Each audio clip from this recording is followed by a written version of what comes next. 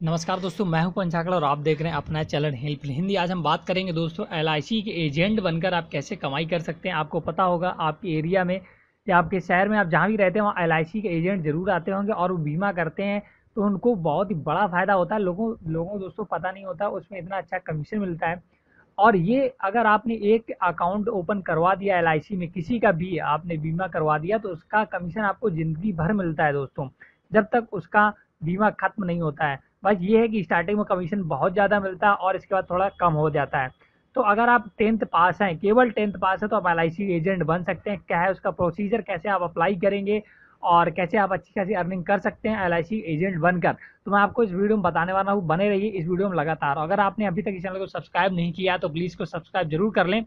और अगर mobile phone पर देख रहे हैं तो वहाँ भी एक सब्सक्राइब का बटन आता है, वहाँ भी सब्सक्राइब करें।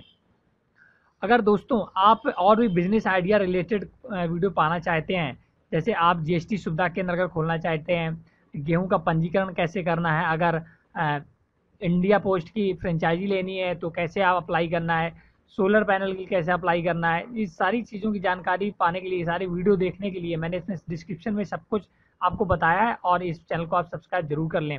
तो चलो जान लेते हैं कि कैसे आप LIC एजेंट बनेंगे। तो इसके लिए आपको आना होगा मनी पर। यहाँ पर एक आर्टिकल दिया गया है टेंथ पास दसवीं पास भी बन सकते हैं LIC एजेंट होती है अच्छी इनकम अब दोस्तों LIC एजेंट बनने से फ़ायदा क्या होता है? अगर आप 9 बजे से 5 बजे वाली शिफ्ट में बंद कर काम नहीं करना चाहते हैं और अपनी मर्ज़ी से काम करना चाहते हैं तो LIC एजेंट बनना एक अच्छा ऑप्शन है। इसके लिए आपकी क्वालिफिकेशन भी बहुत ज़्यादा होने की ज़रूरत नहीं है, क्योंकि LIC की ओर से अब इसे, इसके लिए शैक्षिक योग्यता बारहवीं क्लास से घटाकर दसवीं कर दी गई है। ऐसे में यह एक ऐसा काम है जिसे आप चाहें तो फुल टाइम या फिर पार्ट टाइम भी कर सकते हैं। वहीं इसमें कमाई की कोई लिमिट भी नहीं है। आप अगर अच्छा ज़्यादा समय देकर मेहनत करते हैं तो इस तो आपको फ़ायदा भी ज़्यादा होगा। ऐसे में आइए हम बताते हैं कि आपको एलआईसी एजेंट बनने के लिए आपको क्या करना होगा। तो यहाँ पर मनी भास्कर डॉट कॉम पर सारी चीज़ें बताई गई, मैं आपको पढ़ा देता हूँ। सबसे पहले एल एजेंट बनने का क्या है प्रोसीजर एलआईसी एजेंट बनने के लिए शैक्षिक योग्यता कम से कम टेंथ टेंथ पास होनी चाहिए और आयु अठारह वर्ष होनी चाहिए।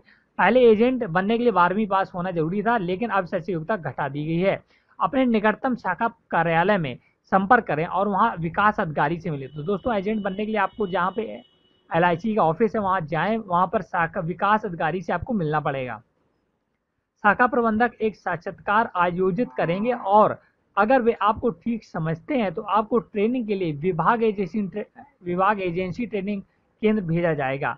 ट्रेनिंग ट्रेनिंग दस दिन चलती है। इसमें जीवन बीमा व्यवसाय के सभी पक्ष सम्मिलित होते हैं। ट्रेनिंग की सफलतापूर्वक संपन्न होने के बाद उम्मीदवार को एलआईसी एजेंट को फ्री रिक्रूटमेंट टेस्ट पास करना होता है प्री सॉरी दोस्तों फ्री नहीं प्री रिक्रूटमेंट टेस्ट पास करना होता है, जो कि भारतीय बीमा नियामक एवं विकास प्राधिकरण की ओर से आयोजित कराई जाती है।